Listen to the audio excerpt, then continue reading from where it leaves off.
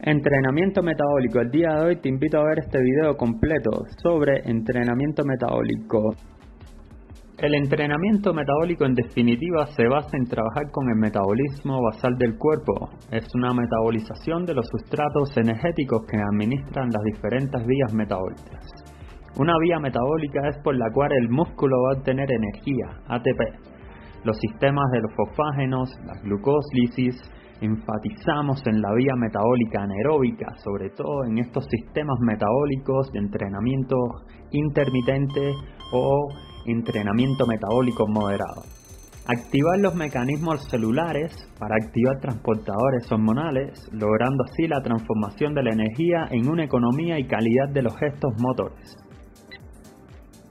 El entrenamiento que durante su ejecución se incrementa el consumo calórico de forma acelerada mediante el consumo propio de las altas pulsaciones que se logran durante el entrenamiento.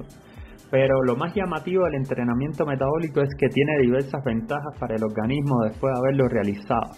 Porque otros entrenamientos que pueden durar en un orden de los 45 a una hora donde se vierte demasiado residuo a la sangre, en cambio, el entrenamiento metabólico quizás en 30 minutos se puede realizar un entrenamiento efectivo con una mínima absorción de residuos que permita que los tiempos de recuperación sean muy cortos y el sujeto esté preparado al otro día para dar el máximo el entrenamiento. Específico una vez más.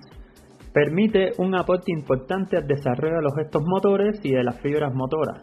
También va a ayudar a prevenir una de las deficiencias fundamentales del ser humano, que es una enfermedad llamada sarcopenia. Se estima que a partir de los 30 años se empieza a perder entre 3 al 8% de la masa muscular por cada década de vida. Las causas que generan este padecimiento son la inactividad física, la edad, cambios hormonales y pérdidas de neuronas motoras por el envejecimiento. La sarcopenia es la pérdida muscular, metabólica, mecánica y fisiológica funcional del músculo.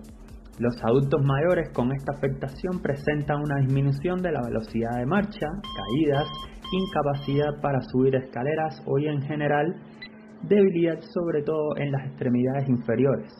Cuando una persona mayor realiza una menor o nula actividad física, se genera que la proporción del máximo esfuerzo requerido para llevar a cabo estas actividades diarias aumente y poco a poco se genera discapacidad y dependencia.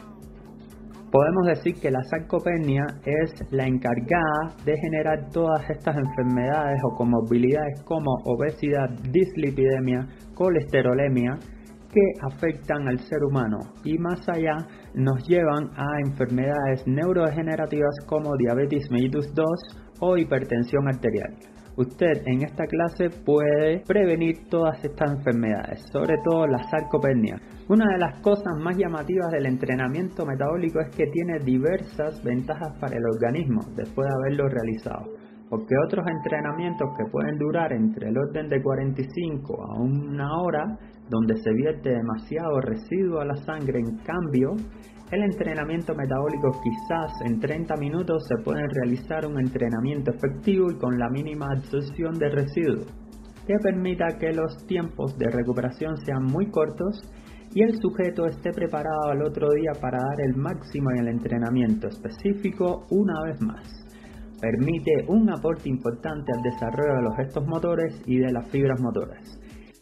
Un entrenamiento muy completo. Se trabajan todas las capacidades mediante ejercicios con y sin instrumentos, provocando un mayor fluido sarcoplasmático, el cual permite que el sujeto mejore a nivel neurológico los movimientos y que cada vez sea más inteligente a nivel de movilidad y estabilidad. Entonces podemos decir en general que se mejoran aspectos físicos fundamentales mediante la incorporación biomecánica del octágono funcional, que es por esto que el entrenador que lo lleve a cabo debe personalizar o adecuar las sesiones del deporte o actividad física que desee desarrollar el sujeto. Utilizar temporizadores como puede verse en la imagen para que el sujeto que está desarrollando el ejercicio físico desde el punto de vista psicológico se centre únicamente en el gesto motor, lo cual es importante. Con esto se evitan lesiones y se enfatiza en la concentración a la atención, conectando todos los componentes neurológicos en el desarrollo del round. Se debe tener en cuenta que durante la sesión el sujeto debe progresar a medida que va pasando los grupos de rounds y se progresa en cantidad de gestos motores, manteniendo la calidad y se progresa como en la imagen se puede observar la frecuencia cardíaca de reserva hacia una frecuencia máxima con la cantidad de gestos y donde se recluta la mayor cantidad de fibras talentosas posible.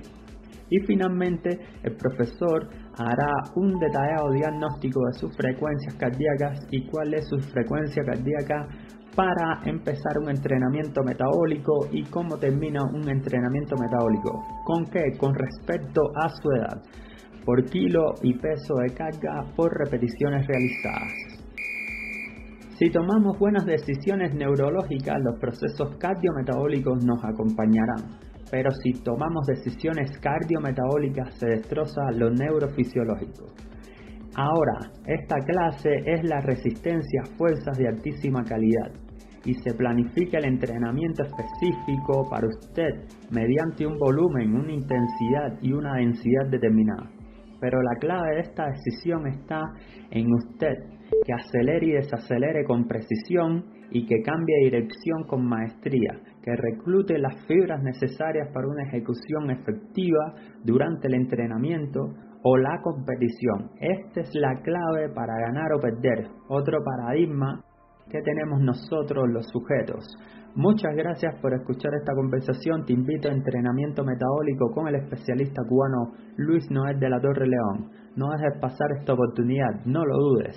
Invierte en tu salud. Ready, go.